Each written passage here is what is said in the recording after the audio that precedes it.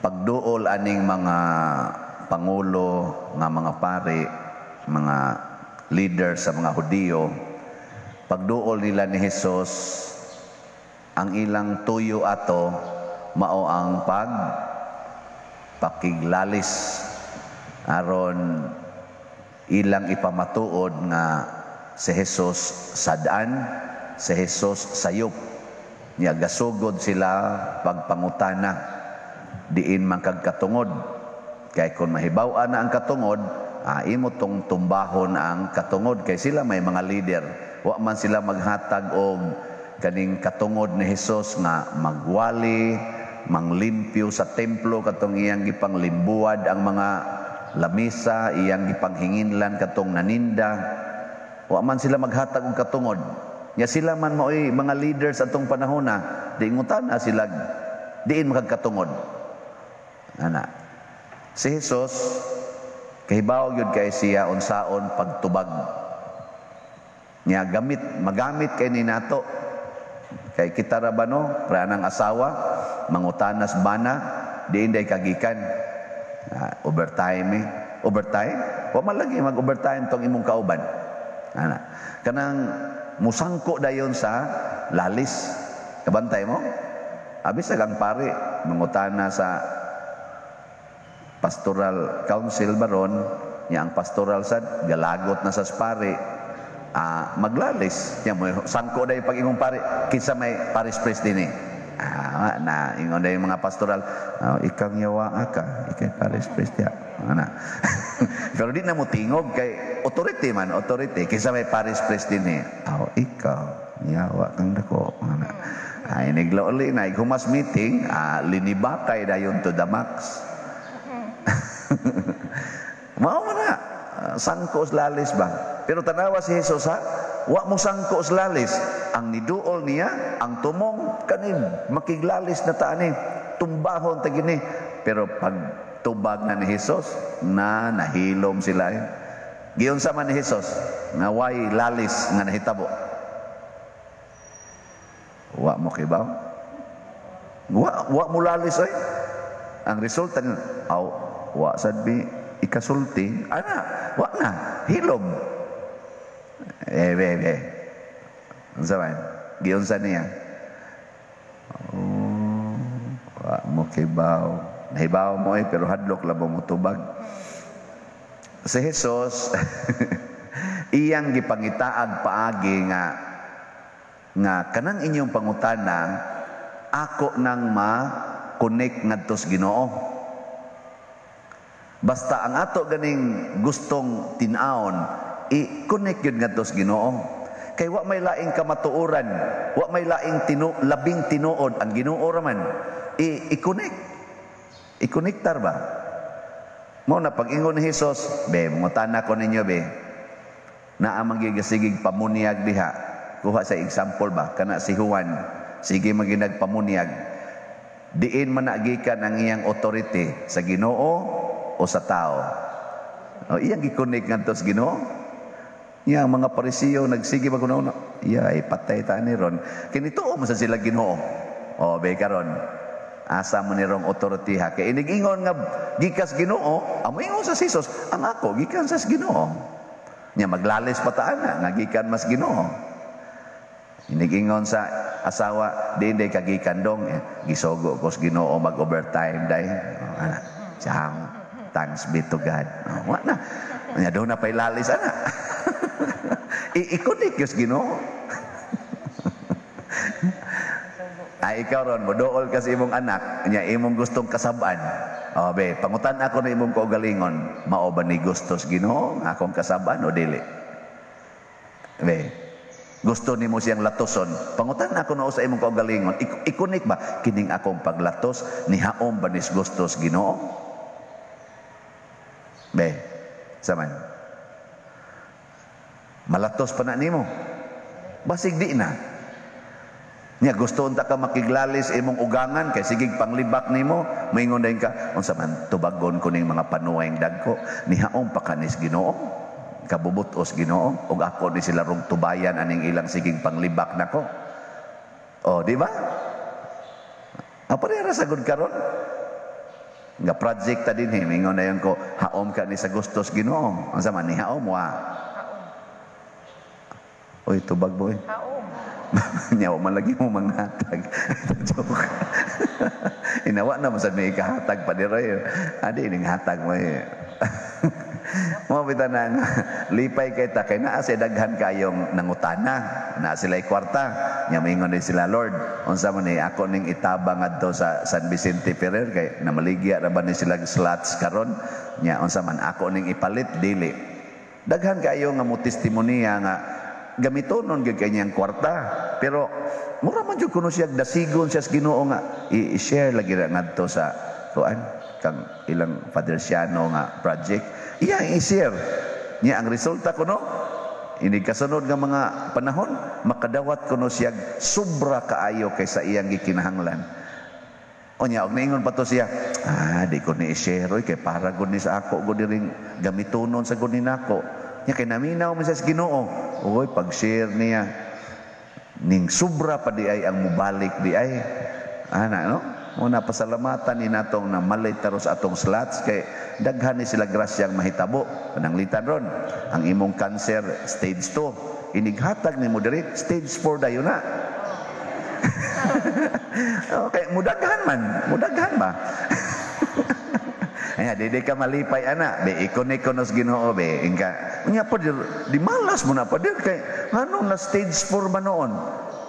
Behay may imong gusto. Kanang dugay pa kang makapuyo og langit o kanang hapit na ka makapuyo og langit. Asa may gusto nimo ana? Kung naay lugar diha nga porting nindota sama ng Amerika, nindot man kay na Amerika puy-an kono para sa mga Pinoy. Tagaan ti kag visa, ingnon ti ka sunod simana kani nga visa madawat na ninimo. Karing usa 20 pa ni katuig una pa mo effect. Hay may imong dawaton. Karing para sunod simana o karing para sunod 20 katuig. Sunod si Sunod Mana. si Mana. Kung nakagusto ka sa Amerika, ay, kana, kana akong sunod si Mana, ay, ay, ayaw rin di ang 20 katoy, ganong pahuwaton man ko nimo. Nya, hay may nindot, kalibutan o langit. Langit. Langit. O, mauna, inig, abot sa imong cancer o stage 4, pasabot ana, ang ginoo, excited na kaig makakita nimo dito sa langit. Nga ikaw sa og mo connect sa gas Ginoo, sa ato pamingo, grasya gid ni. Bunga ginis paghatag nako dito og kaning Bunga ginis akong paghatag og slot dito ni San Vicente Ferrer. Natanawa karon, di ba duol na kay ko makakita sa Ginoo? Grabiha aning grasyaha. Eh? Ana, no? Pero wa ni mo makonek sa Ginoo, magsikon, "Ulo nga numan nga numan Lord, wa ni mo pamati awi San Vicente wa na ka magmilagro." Ingo San Vicente kadako anang milagro nga maduol na kay kas langit. Natanawa ka mo mga yawan o, di ba kasi, peace ng mga uy, mabiya sa doon, eh. Oo, bahala mo diha. Basta mo, mo sa na akong pamalandong. O ka na mo, o yun mo na. Muna kining si San Juan de la Cruz, kining si Saint John of the Cross, grabe kaayo ang iyang gibuhat nga reformation sa simbahan. Nga naman, adtong panahon na ang mga pare, apil na sad ang mga madre, kanang ang gusto bitaw nila kanang material rewards. Material ba? Material satisfactions bodily pleasures. Muna ang simbahan sa una gigamit sa pagpangwarta gigamit para dunay gahom. Akaron gapadayon pa man eh. Mo nang gapadayon sad ang influence ni Saint John of the Cross. Unsa may iyang gi tudlo sama nga si Kristo nag-antos para nato mag-antos unta ta. Ang ato gitang pangitaon pag-antos. Munang duna na siya story uh, na kana ganing mga librong gipangsuwat sa iyang mga mystical kay maka-connect man siya sa Ginoo mystic man siya. Mystical doctor of the church. Kada bang murag maka-istorya siya sa Ginoo ba? Na siya librong gisuwat nabot ta kabasa ba mo? Wa mo basaha niya. Kay di gyapon mo kasabot.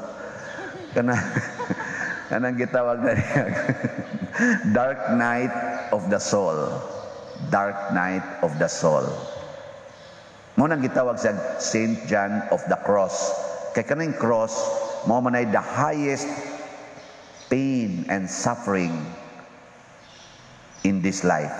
Kanang ilagsang ka sa cross? The highest suffering nya ingon sa Saint of the Cross kay iyang gida ang mga tao apil ang iyang kaugalingon nga matud pa niya let us experience dark night of our souls kana bang sakitan ka magsigi na lang kag hilak nga wa na kakakitag gamayng kahayag gamayng paglaom nga mura bag wa nay ginuos imong kinabuhi kanang total darkness Katubang nakaingon ko no si Jesus pag-ingon nga, amahan ko, nganong gibiyaan mo ako. Mo to'y dark night.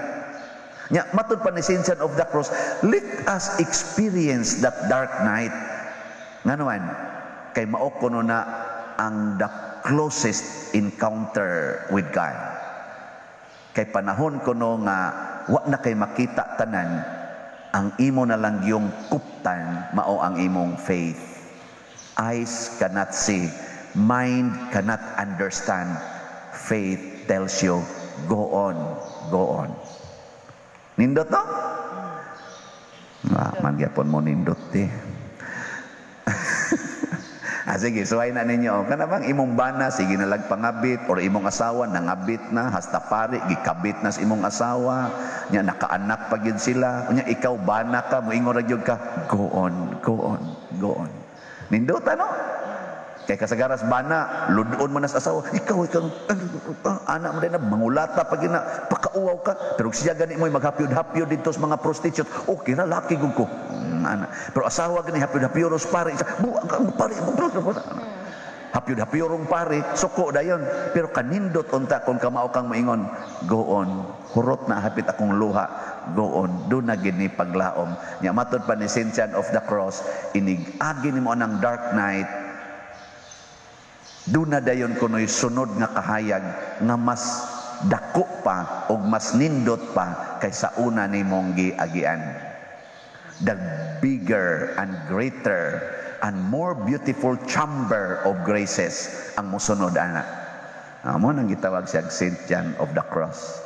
Una ayaw pangitag kalipay sa kwarta, pangitag kalipay diha sa kakabos kay ang kakabos mudahan nimo ngadto sa higher level of experience of happiness. Ang kakabos di anas obos. Niya. Og gitagaan ka og panan diya sa akong gitumbano akong tiil ana. Unyag do na roy grasya nga kutob dinhi. Unsa may kalipay sa kabos kay tuwa man siya dito sa ubos. Ang iyang kalipay kutob dinhi. Nya kay gitagaan magkutob diri nga kalipay. Ang iyang kalipay gikan diri padong didto sa ubos. Bali 6 6 feet siguro ni. Kay 5 man ko kapin. Oh, 6 feet. Unyang tagaan siya sangko sa kisami. Ang iyang kalipay gikan dinhi sangko ngadto sa kisami. Kay kabos man siya, grounded man siya. Kakuha mo? Wag yapon. Pero kung dato ka, dato ka, ang imong level sa imong kalipay kadtong kwarta nga kutob diri kanang kwarta ba kutob diri ba? 1 million kutob diri. Unya kay ang gihatag 500,000 raman. Diri raman kutob. Malipay ka. Dili. Uh, karon kaning nagmisa asa man ani ang level sa kuan kapos. Ug muhog mo kolekta lipay. Ug di sad mo muhog kolekta Wow. Lipay lang gihapon. Di biasa sa iyong dawaton pero lipay gyapon kay kabus man. Pero magdinato ko nga kinahanglan kada misa, kinahanglan 10,000 gyud, yanigdawat nako 500 ra, magsigi kog ingon oy may pag um, ato na ning hunongon ning bisaha oy. Kan sintani. oh, di wa nay kalipay. Mo na ingon Sintian of the Cross agi ra anang dark night.